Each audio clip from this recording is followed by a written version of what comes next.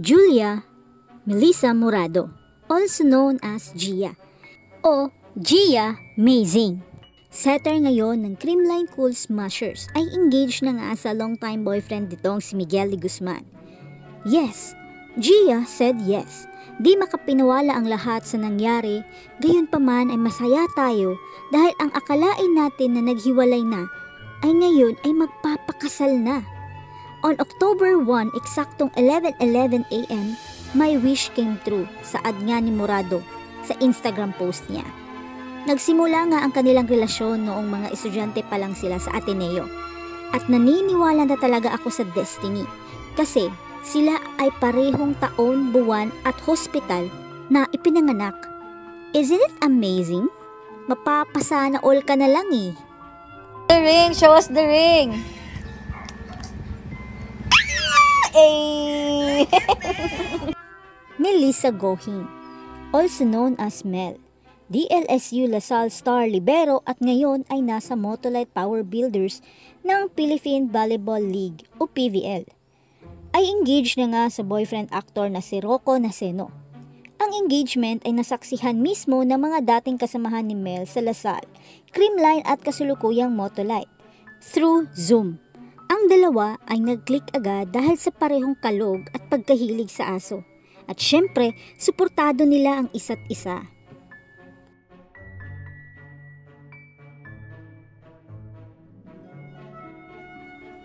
Amanda Villanueva Yes to marriage proposal. Si Amanda ay former Adamson Lady Falcon in UAAP, winning a beach volleyball in UAAP 2013 at pinangunahan ang universidad sa Final Four campaign in season 75 at 76. Si Amanda ay naglalaro sa Santa Lucia Realtors sa Philippine Superliga o PSL. Noong September 3, 2020 ay nag-anunsyo nga si Amanda ng pagre-retiro niya sa volleyball after 18 years. Ganun pa man ay nagdiwang ang lahat sa pag-anunsyo niya na engaged na siya sa disc jockey na si Rico Robles noong January 26, 2020. Nangyari ang proposal during their vacation at Taipei, Taiwan. Congratulations!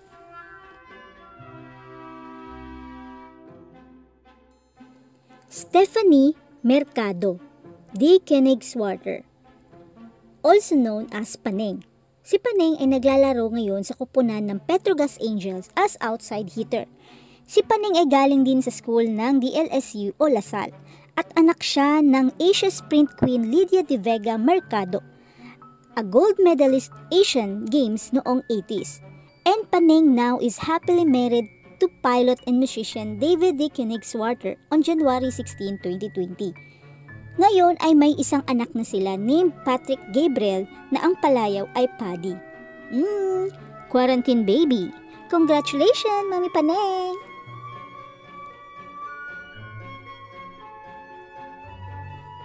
Aliona Denise Santiago Manabat, also known as Dindin Santiago, na naglalaro noon sa NU Lady Bulldog sa UOAP with her sister Jaja Santiago as mga middle blocker. Sa taglay nga ng mga tangkad ay malamang nasa tamang posisyon sila.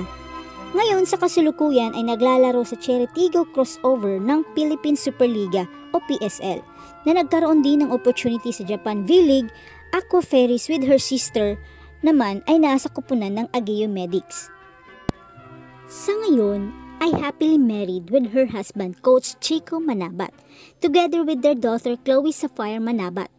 Noong September 2, 2020 ay pinagdiriwang nga nila ang kanilang 90th anniversary. Happy anniversary! Denise Michelle Lazaro Revilla, also known as Denden, ay isang member ng Philippine Women's National Volleyball Team. Kilala siya bilang libero at Iron Eagle ng Ateneo Lady Eagles. Kasulukuyang maglalaro sa Choco Mucho Flying Titan together with other fellow Atenean, the Triple Tower, BDL, Madi, and Kath. Si Den ay happily married with LaSalle basketball player L.A. Revilla noong January 27, 2020. Looking back at March 22, 2014 kung saan in-update tayo ni LA sa kanyang panliligaw kay Denden. And now, they are happily married under quarantine season. Enjoy honeymoon! Aiza Maizo Pontillas, also known as Nang. Siya ay former member and team captain of UST Golden Tigresses at member ng Philippine Women's National Volleyball Team kasulukuyang naglalaro ngayon sa Petron Day Spiker bilang opposite spiker. Sa ngayon ay happily married sa overseas worker niyang husband na si Spider Puntillas with their son e Aaron James.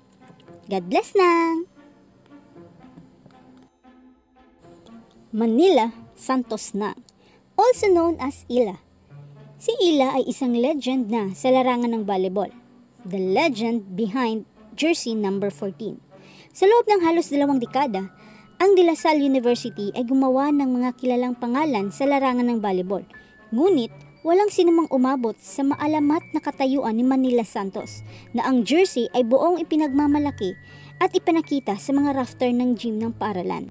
Sa ngayon, ay happily married sa isa sa mga corporate executive ng Rebisco na si Noric Terence Nang Bagaman ang kanyang asawa ay isang corporate executive, nagpapasalamat siya sa pagbibigay sa kanya ng isang napaka-importanteng regalo, ang kanyang oras para sa pamilya.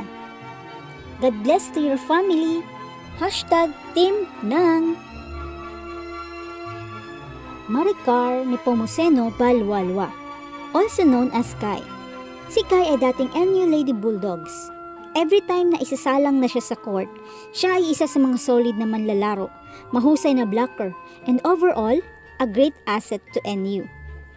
At ngayon ay naglalaro siya sa koponan ng Petrogas Angel bilang isang opposite hitter. Happily married siya sa husband niyang si Ken Balualwa, isang Philippine Army kung mapapansin mo, palagi silang nagkukulitan sa IG stories nila. At may isa silang anak na si Enrico Zohan.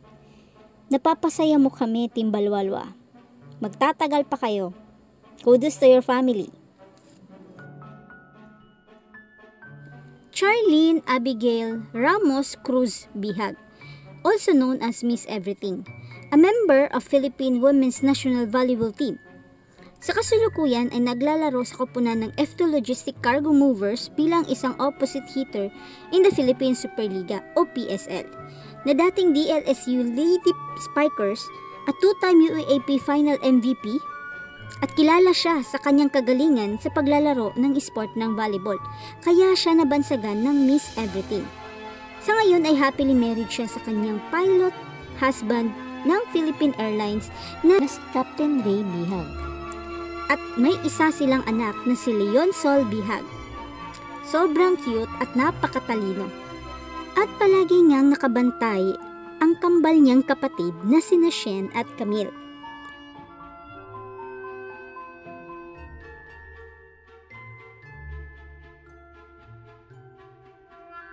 Phil Kainglet Cayetano, also known as Mama Athlete. Si Phil ay kasulukuyang naglalaro sa Creamline Cool Smashers bilang opposite hitter. Isa siya sa Fab 5 na grupo ng volleyball na sila G. Hervasio, Gretchen Ho, Jem Ferrer at Nakachi ng Ateneo Lady Eagle. Sa ngayon ay happily married siya sa direktor na si Lino Cayetano na ngayon ay isang alkalde ng lungsod ng Tagig since 2019. Meron silang cute na mga chikiting na sina Ino, Nene at Lily na sobrang kulit at palaging nanonood sa mga laro ng mamatlit nila. Sa sobrang supportive ni Mayor Lino sa kanyang mamatlit, ay daladala niya ang kanyang tutlong chikiting sa game. Sobrang cute ng pamilyang to. Grabe. Go, go, go, Mama